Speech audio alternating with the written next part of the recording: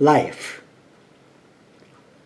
Life is like a river flowing out from near a mountain top, soon facing a divide between a path to proudly conquer the land and a path to gracefully fade out to the sea.